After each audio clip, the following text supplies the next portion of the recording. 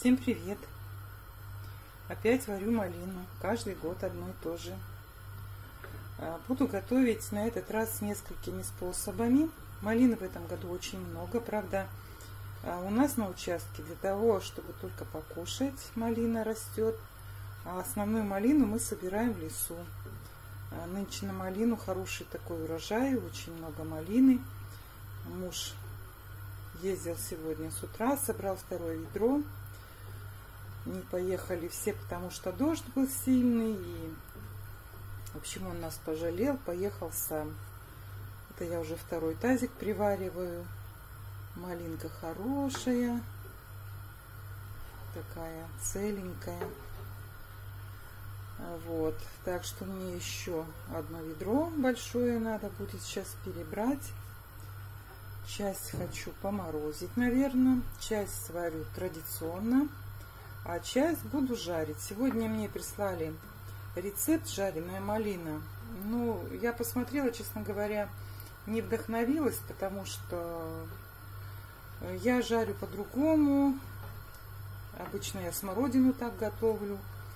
Клубнику можно так приготовить. Ну и по-своему буду тоже жарить. Потом покажу, как я ее жарю. Получается, очень быстро можно приготовить варенье таким образом. Под крышку прекрасно стоит, потому что уж если смородина стоит у меня э, при комнатной температуре, то и, я думаю, малина будет тоже стоять, потому что ягода более сладкая, сахара надо меньше, чем к смородине, хотя и смородину я слишком много сахара не добавляю. Не помню, снимала я про смородину или нет.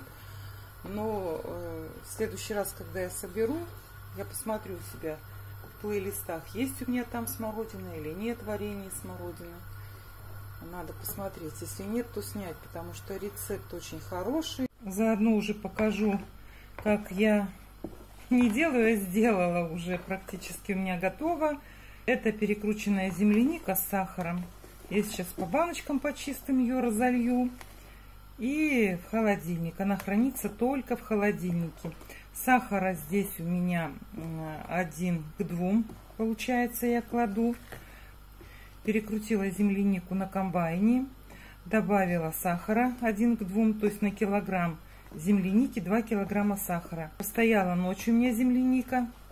Смотрите, какая она сейчас вот не такая густая в холодильнике она постоит, она загустеет. А сейчас она, в общем, еще такая жидковатая. У нее очень приятный запах.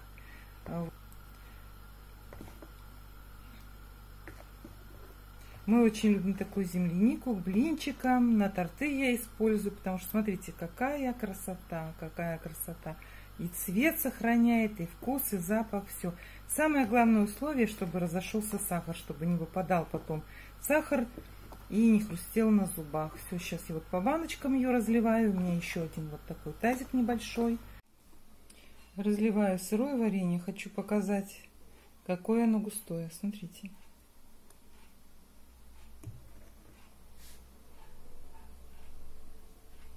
Густое-пригустое. Буквально еще, наверное, полчасика оставлю на столе, а потом в холодильник и на зиму. О, перелила.